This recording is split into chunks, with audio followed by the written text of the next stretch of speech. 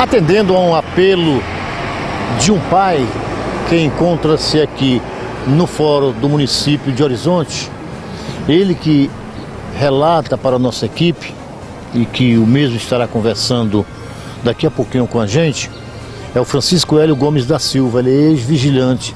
Ele denuncia a ação do Conselho Tutelar que o, o acontecido, o histórico é o seguinte, ele teria sua filha Herbênia de Oliveira Gomes, de apenas 13 anos de idade, que teria, segundo ele, é, tido um relacionamento com um rapaz que o mesmo é, encontra-se preso, preso pela justiça. Segundo ele relata também que esse relacionamento teria sido através de um site de relacionamento, né? Acreditamos ser o Facebook. E o rapaz foi preso e a Herbênia, ela foi, digamos, auxiliada pelo Conselho Tutelar do município de Horizonte.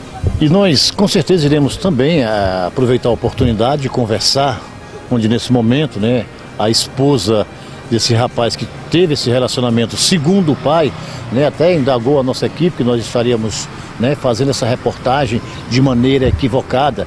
Eu, como tal, quis ouvi-la, mas ela disse que não queria falar. Nós estamos aqui atendendo a um apelo de um pai que está aflito e que ele mesmo, daqui a pouquinho, estará conversando com a nossa equipe. Vamos conversar aqui com o pai da Herbênia de Oliveira Gomes, de 13 anos, ele que chamou a nossa equipe para falar, para relatar esse acontecido. É o Francisco Hélio Gomes da Silva, ele que é ex-vigilante, ele que encontra-se aqui ao fórum para buscar alguma explicação, né, Francisco? Positivo. Eu, eu já vim várias vezes aqui no fórum a, para saber a respeito da minha filha e ele não explica. Puxaram no sistema e não tem papel informando o que, que aconteceu com ela.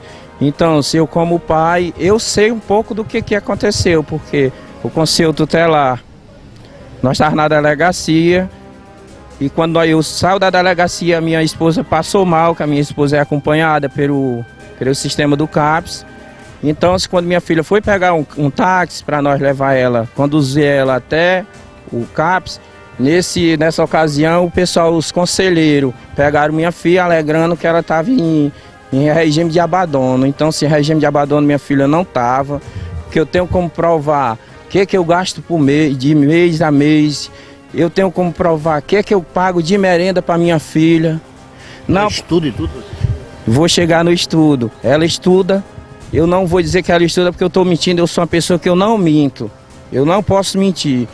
Ela estudava, dava o dinheiro dela para ela ir para o colégio, para ela voltar, ainda dava o dinheiro para ela comprar merenda, já para não pedir nada a ninguém, para evitar um caos que eu não pude evitar, que justamente era para evitar esse caos que aconteceu aí. Que ela se envolveu com esse rapaz de maior e tá aí o problema. Sim, você, o que, é que você quer com isso? O que, é que eu quero com isso? Eu quero ver minha filha. Eu, como pai, eu não estou dormindo. Eu tomo medicamento, eu tenho nove balas alojadas no meu corpo.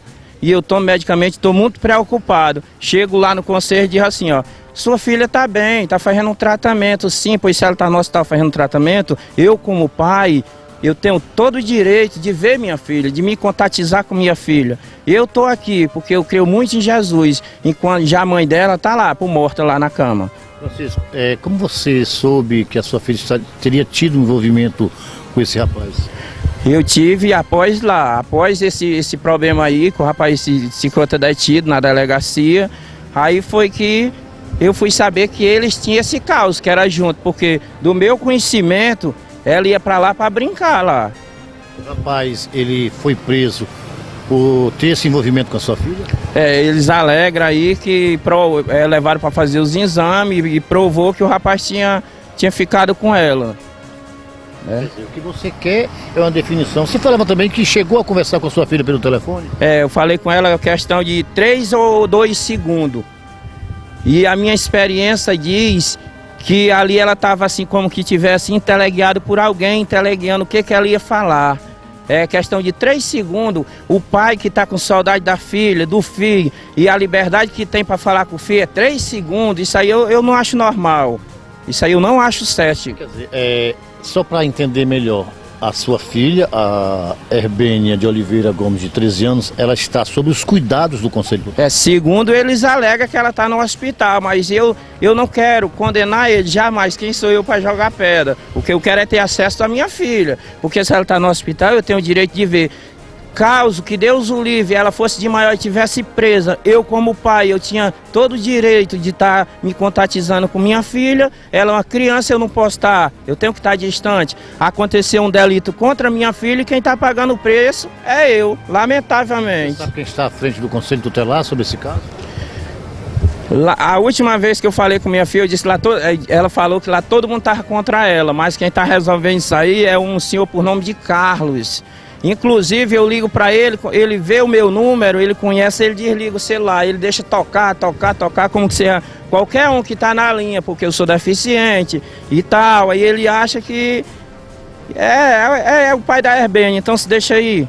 Francisco, é, você mora aqui mesmo no município de Horizonte? Moro aqui em Horizonte, moro no centro de Horizonte. Eu sou horizontino. Morei para Cajuí muito tempo. O que você quer, na verdade, é que dê uma, definição de onde está a sua filha e como ela se encontra, né? Exatamente, eu quero me conviver minha filha. Se ela está no hospital, eu tenho direito de visitar minha filha. Se ela tivesse presa, eu tinha direito, porque ele sai dizendo que levar minha filha para o hospital. E que hospital é esse que o pai não tem acesso?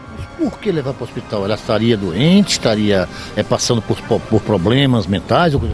Eles alegram lá, os conselheiros, que ela está com a doença e está fazendo esse tratamento. Também o nome da doença a mim mesmo ainda não explicaram ainda. Olha, é bom que se diga um fato muito estranho, inclusive até o Francisco ele encontra-se aqui na comarca do município de Horizonte e que na verdade, né, é, ele relatou, chamou, convocou a nossa equipe, pediu essa ajuda, né, para que alguma providência seja tomada. Com certeza, com certeza eu eu não estou aqui para julgar ninguém. Quem sou eu para julgar? Eu quero que a justiça puna os culpes. Só isso que eu quero.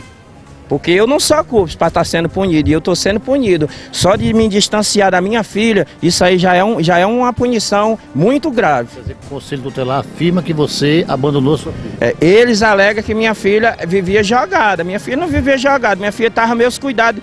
Só nesse momento aí, porque só nem Deus se livrou da traição. Sua filha tem algum vício, alguma coisa assim? Do meu conhecimento, não. Do meu conhecimento, não. Inclusive, já foi feito um exame e não justificou que ela tivesse envolvimento com droga nenhuma. Mais alguma coisa, Francisco? Não, eu só agradecer você, esperar a equipe de, de ter, ter vindo me fazer essa caridade. Eu fico feliz e eu espero que a justiça tome as providências do jeito que merecer. Não estou aqui para julgar. Eu quero que puna os culpes. Mais uma vez eu falo. Tá aí, nós iremos agora até o Conselho Tutelar do município de Horizonte tentar alguma informação, saber algum desfecho, onde se encontra a Herbênia, porque o Francisco Hélio Gomes da Silva, ele é o pai. E como tal, ele tem que saber algum paradeiro, né, Francisco? Eu já lutei muito, eu não paro um minuto, eu não paro um segundo. Vou no CRAI, vou no, no CAPES, vou, vou vim aqui, fui no CREA ontem, vivo, só estou vivendo no conselho e ninguém me liga. Parece que por causa da minha doença, da minha deficiência, eles me, me ignoram, eles preconceituam comigo. Isso é que eu acho de mim, eu penso de mim que é isso. Ninguém me dá ouvido, ninguém me dá ouvido. Um advogado ligou para lá para saber, um amigo meu, não, doutor, isso é muita coisa para se resolver. Pois tem essas muitas coisas, pois me explique qual é as coisas. Uma coisa que não está explicando. Exato, pois se tem esse problema tão grande, Pois me comunica eu como pai para me ver o que, que eu posso fazer, porque do meu conhecimento só estou sabendo disso. Aí, nós iremos até o Conselho Tutelar. Olha, nós iremos até o Conselho Tutelar, inclusive até podemos conversar é, com o, a equipe do CREAS, que também, através da psicóloga, através de pessoas responsáveis por esse caso, né, eles já estão a par. A Herbênia, ela está sendo assistida, inclusive até nós tivemos uma explicação muito ampla, detalhada por parte dos conselheiros, inclusive até o Francisco Hélio, o pai da Herbênia, também pode participar. Na verdade, você não sabe onde é está a sua filha, mas sabe que ela está sendo assistida. É, segundo eles informaram que ela estava bem acompanhada, estava num local de segurança, mas que o pai não tem local de segurança como tá perto de mim, eu tá vendo, porque eu continuo dizendo o mesmo que eu falei lá.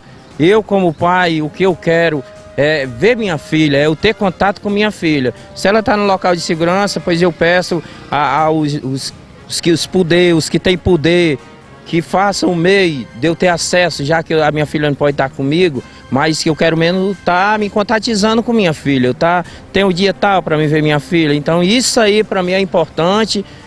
Tenho fé em Jesus, não estou aqui para julgar ninguém, que a justiça seja feita. Quem sou eu para julgar? Eu não posso julgar ninguém.